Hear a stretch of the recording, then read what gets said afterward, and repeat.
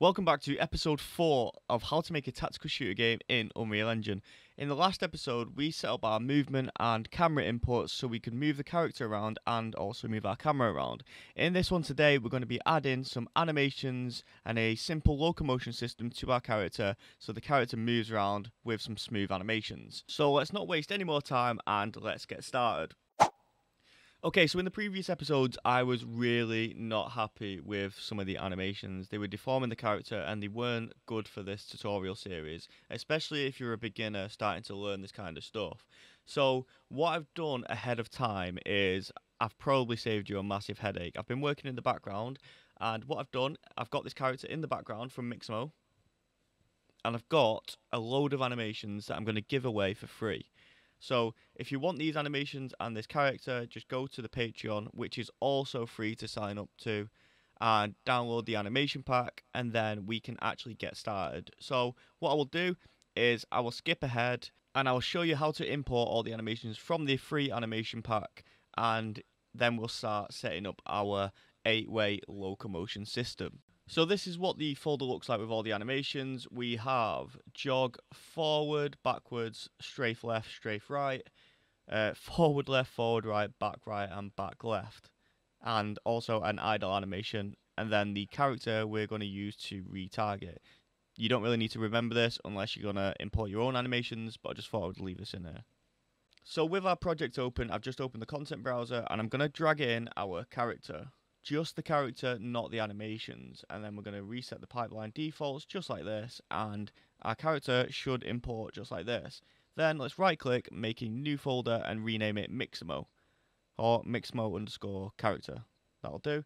I'm going to select everything and drag it into this folder here, just to keep all our assets in one place. Like I said, we're not going to be using this uh, character, but we need it for retargeting all the animations. Then we're going to drag in all the animations and select the Mixamo skeleton, like this. Don't, don't, like, please don't select any other skeleton because it'll completely deform the animations.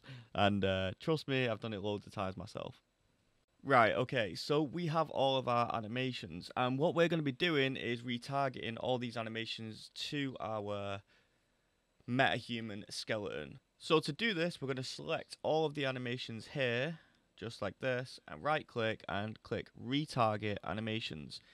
The source skeleton mesh is going to be Mixamo, and the target skeleton mesh will be the, I think for me it is, where is it? It's Ralphie body that one.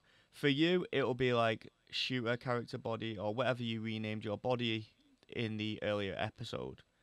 Now, let's just make a new folder inside of main character. I'm going to rename it animations and then we're going to give it a prefix of mh underscore just so it's easier to search when we actually go into the animation graph.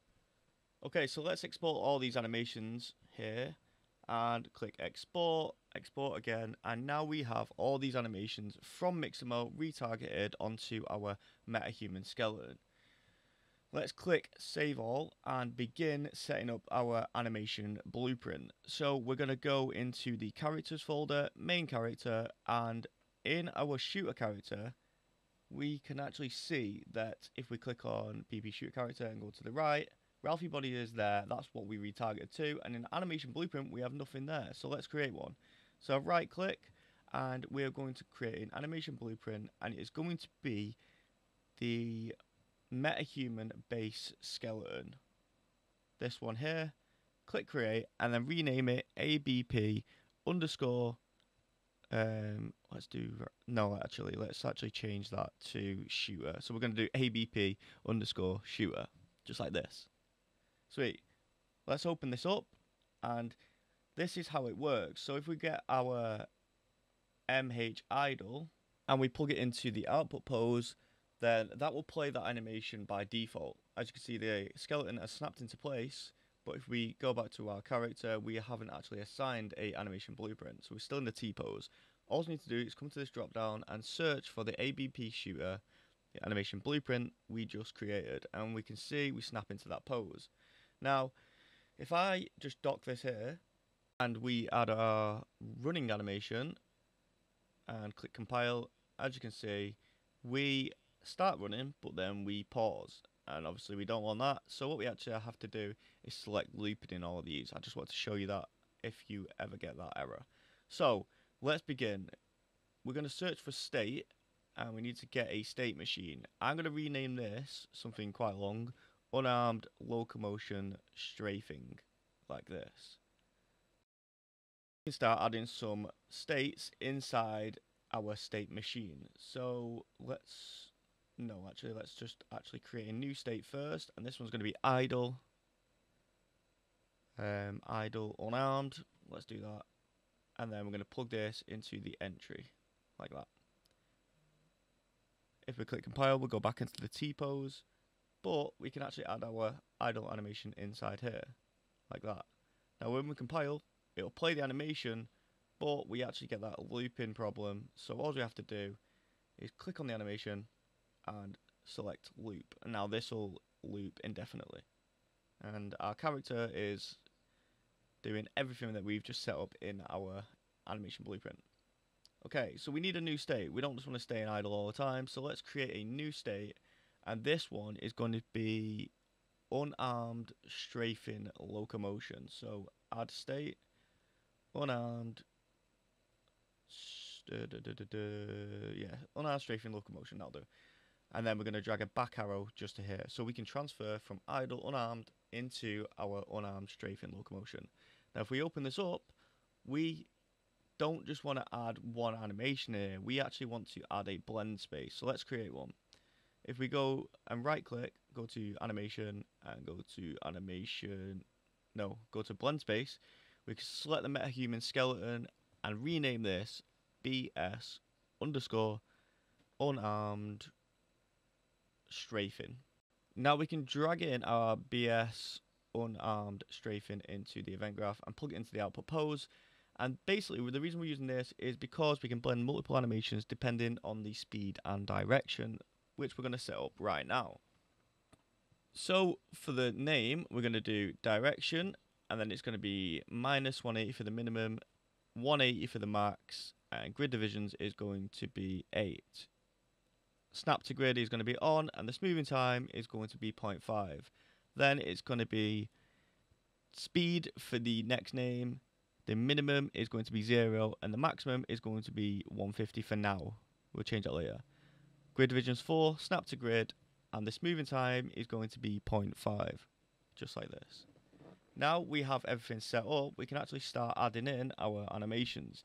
So if we go to the asset browser on the right hand side and search for MH, this will bring up all the animations that we retargeted before.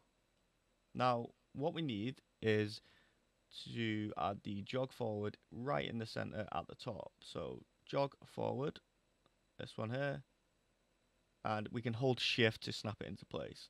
Now our character is jogging forward, then we're going to get a jog right, sorry, jog forward right, which is FR, it's just abbreviated. Then we're going to get strafe right, and as you can see, the animations are blending depending what speed and direction we're going. Next, we're going to get the back right and snap that in there. And then we're just going to get a jog backwards. So jog BWR in here. Like that. Sweet. So we actually are blending between all these animations depending on the speed and the direction, which you can see in the preview value. Hopefully that made sense. I know a lot of people don't explain this very well. I've done my best and recorded this about 20 times, so hopefully you learn a little bit about blend spaces. And we're just basically going to do the opposite here. So it's going to be, um, it is going to be forward left, strafe left, back left, and then backwards. So let me just drag the last one in. And as you can see, when we hold control, we are blending between all these different animations. Now, this does not represent the final product that we're actually going to be making, but for now, this is a very good starting point, and this builds the foundation that we desperately need. But if I was to click play now, nothing would work, and the reason is this right here. It's asking us what is the speed and what is the direction of your character, because if we were to just click play now, it'll just run like on the spot. It'll stay in the idle because we're never transferring. So let's go to the event graph in the animation blueprint and set up some variables so the animation blueprint knows what speed and direction we are going. So drag out a and pawn owner and we're going to cast to BP shooter character just like this and hook that up into there. Then we're going to drag out of as BP shooter and rename this something like shooter ref or shooter character ref. Let's do that instead. Sweet. Now we can actually just position this so it looks a little bit better. Let's just drag this down, highlight and press Q to align it. And then out of here, we're actually going to drag out and get the character movement. So scroll all the way to the bottom and get character movement. Pull out of here, promote it to a variable, and then this is going to be our character movement reference. Sweet. Let's just plug that into there like that. And then we can just align it all and compile and save. And let's actually comment this as well. So if we just draw a box around this, just like this, and press C, we can actually comment this we don't get lost later on down the line. I've just noticed a little bit of a problem, which we're going to fix right now. So let me just move this to the side so you can see a little bit better. And right here it says event blueprint update animation. Now this is doing it for the tick. So every tick will be updating the animation and setting these variables. That's not what we want. So we're going to disconnect this and drag this down and we're actually going to get what is the equivalent to a begin play node and event blueprint initialize animation. So when the animation initializes, then it'll set these variables. Next, we're going to get out of the shooter character ref and convert it to a validated get. So we're checking if the character is valid, and then we're going to get a sequence because we'll be adding a load of different things to this sequence. So I'm going to do it now. Next, we're going to get the character movement, and out here we're going to get the velocity. Scroll down, get velocity, and then drag out the velocity and promote it to a variable. We're going to rename this variable velocity ABP. I always like to abbreviate it with ABP on the animation blueprint so the variable doesn't pop up in other places and confuse me because I get really easily confused. Next, we're going to get the vector xy, so the vector length xy, sorry, and then align this. And this is going to be our ground speed. So if we actually just drag out of here, promote it to a variable, then we can rename this ground speed. Whoops. Ground speed ABP. Like that. And then just plug that in just like that. Sweet. Now we have our velocity and our ground speed as a variable in our animation blueprint. Okay, so let's set up the direction. Now, let's drag out of the character move, no, sorry, the shooter character while holding control, and that will get this shooter character. Then we're going to get the actor rotation, and out of the actor rotation, we need to calculate the direction. Now, this is going to ask for the velocity of our character. Luckily, we just made that a minute ago. So we can right click, split the struct pin, and then the X and the Y is what we need. So let's right click the velocity as well, split that, and then we're just going to plug in the X and the Y, just like that. Let's line everything up, and then out of the calculate direction, we can actually drag out, and we're going to promote this to a variable, just like this. So click promote, and then let's rename this direction ABP, like that. And then we're just going to plug this into the second pin on the sequence node, like that well, technically the first pin because in uh, in coding it always starts with zero and then goes to one. right, okay, so I just skipped ahead a bit, and what we've done is just added a few comments so we don't end up getting lost in the animation blueprint. So I've just added a calculate ground speed, calculate direction, ticks every frame, and then checks if the character is valid, just like this. Just so when we come back to it later, we don't get confused.